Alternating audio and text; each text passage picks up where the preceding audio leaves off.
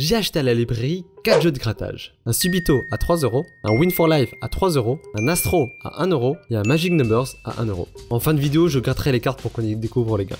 Je suis désolé pour les Français, je n'ai pas accès aux cartes de la Française des Jeux puisque j'habite en Belgique, mais ça fonctionne tout pareillement. Pas besoin d'être un génie pour savoir qu'il y a plus de probabilité de perdre de l'argent que d'en gagner. La question aujourd'hui est de savoir combien perdons-nous conceptuellement à chaque ticket.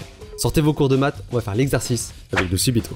À l'arrière de ceci, il figure le plan de l'eau sur 3 millions d'exemplaires. On lit que deux cartes existent avec un montant de 75 000 euros, 30 avec 3 000 euros, 8 000 avec 15 euros, 70 000 avec 9 euros, 650 000 avec 6 euros et 365 968 avec 3 euros. Une donnée n'est pas indiquée, c'est le nombre de cartes perdantes. La raison, c'est tout simplement parce que c'est pas très vendeur. On prend le nombre total de tickets du lot, donc 3 millions, moins la somme de toutes celles avec un gain et on obtient 1 900 000 cartes avec 0 euros. Avant de continuer, on va transformer le nombre de cartes en probabilité.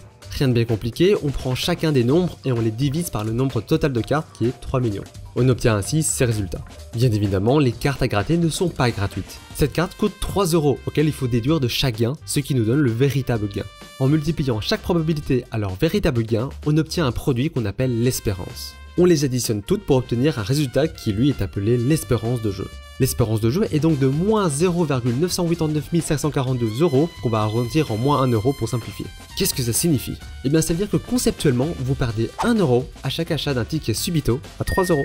Et qu'en est-il des autres cartes? Si on estime que vous allez profiter de la carte Win for Life à 3 euros qui procure 2000 euros par mois pendant disons 30 ans, l'espérance de jeu est à moins 1,14€. La carte Astro et Magic Numbers à 1 euro ont tous les deux une espérance de jeu à moins 37 centimes.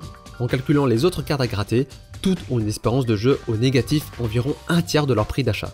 En résumé, quel que soit le jeu de grattage que vous achetez, vous perdez théoriquement le tiers. Enchanté.